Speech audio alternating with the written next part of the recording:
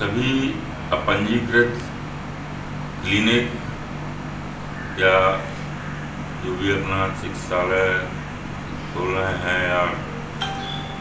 अनियमित रूप से चिकित्सालय चला रहे हैं, उन लोगों को मैं ये कहना चाहता हूँ,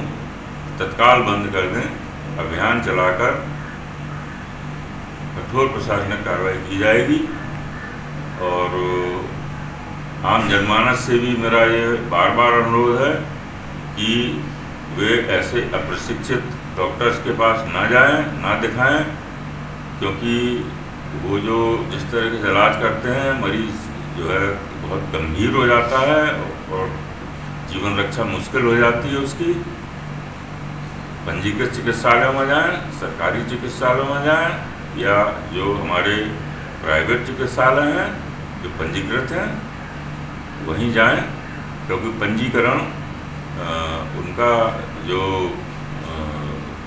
क्वालिटी होती है, उसके हिसाब से ही नियमानुसार पंजीकरण किया जाता है। तो ये मेरा बार बार अनुरोध है, इसकी वजह से कई लोगों को जान का जोखिम हो रहा है।